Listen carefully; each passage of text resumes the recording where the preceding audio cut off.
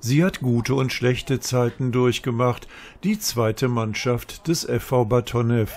Der größte Erfolg war sicherlich der Aufstieg in die Kreisliga A. Dann ging es zurück bis in die Kreisliga C. Dort spielt das Team von Ex-Kapitän und Neutrainer Dennis Boyles aktuell eine starke Rolle und nimmt nach vier Siegen und zwei Unentschieden den zweiten Tabellenplatz ein. Sonntag kommt die dritte Mannschaft von TuS Oberpleis an die Schmelztalstraße. Ein echtes Derby also. Wie laufen die Vorbereitungen? Ich glaube, äh, genauso wie vor jedes andere Spiel, aber natürlich, ähm, weil das ein Derby ist, gehen wir da natürlich nochmal ein bisschen konkreter an die Sache. Aber was heißt konkreter? Aber Grundsätzlich ähm, gehen wir an jedes Spiel sehr energisch dran, weil wir natürlich auch klare Ziele formuliert haben, die wir auch umsetzen wollen. Und das geht nicht, wenn man sich auf jedes Spiel irgendwie anders vorbereiten würde. Wir gehen jedes Spiel richtig hart ran. Und genau, genauso wie jetzt gegen Oberpleis. Manch anderer hat dann da natürlich noch eine Vergangenheit zu, sei es ich selber, der jahrelang in Oberpleis gespielt hat, auch in der dritten sowie in der zweiten Mannschaft. Ähm, genauso wie zwei andere Spieler von uns. Und äh, da müsste jeder Einzelne heiß sein.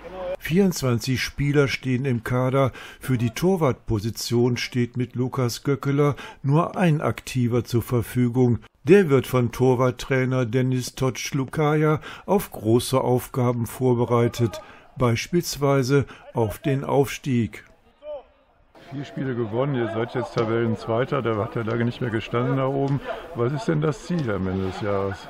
Ziel ist ganz klar von uns, oben mitzuspielen, wenn nicht sogar der Aufstieg. Gerade als Absteiger geht man immer als Favorit in die Rolle rein, in die neue Saison. Ähm, haben wir bis jetzt auch gut gemeistert, bis auf ein Spiel, wo wir leider Gottes Punkte haben liegen lassen, ähm, wo wir eigentlich verdient als Sieger hätten vom Platz gehen sollen oder müssen. Genau, aber so ist das manchmal im Fußball, dass man dann nur mit einem Unentschieden leben muss. Ähm, das hat aber einen Ruck auch in die Mannschaft gegeben, weil gerade wenn man letztes Jahr sich die Ergebnisse angeschaut hat, wo viele das gewohnt waren, eigentlich schon zu verlieren, ist das jetzt natürlich ein krasser Switch für die, ähm, die selbst mit dem Unentschieden jetzt unzufrieden sind, was aber auch äh, positiv für die Mannschaft ist. Wenn Dennis Bolz als Trainer auch mit seinem Team einen guten Lauf hat. Bereust es langsam, die Seiten gewechselt zu haben? nein, bereuen, tu, bereuen tue ich hier gar nichts. Nein, nein. Ich denke, das war im Endeffekt nur eine Frage der Zeit und äh, ja, es wird auch für mich Zeit, den Jüngeren das Feld zu überlassen. Aber so ganz aufhören mit dem Spielen? Nein, nein. Wir haben ja äh, jetzt äh, endlich die Altherren gegründet. Bedeutet, äh, jeden Montag äh, komme ich, komm ich ins Spielen ja, und halte mich mit den Jungs noch ein bisschen fit. Ich habe noch keinen anderen Tipp für Sonntag gefragt. Ich frage ich jetzt einfach mal. Ein Tipp für Sonntag? Natürlich der Sieg.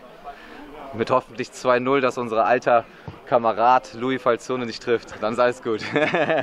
Auf einen Sieg hofft auch der Trainer der ersten Mannschaft, Benny Kreier. Die spielt Sonntag um 15 Uhr im Menzenberger Stadion gegen VfR Hangela. Es sind auch Heimspiele, äh, haben wir bis jetzt gut ausgesehen. Was da den Auswärtsspielen ist, müssen wir nächste Woche gucken. Aber für Heimspiele sind wir eigentlich guten Mutes und peilen drei Punkte an. Ja, sind alle mal an Bord? Ja, größtenteils. Eladan Islamovic ist wieder dabei. Ähm, müssen wir gucken, ob, ob wir das dann schon eingehen, das Risiko, oder ob wir dann noch Richtung nächste Woche so ein bisschen warten. Ähm, aber ansonsten sind alle an Bord. Falls Oberpleis zuguckt, noch ein Hinweis. Sonntag ist von 10 bis 18 Uhr das Schmelztal autofrei. Entweder hintenrum fahren oder mit dem Fahrrad kommen.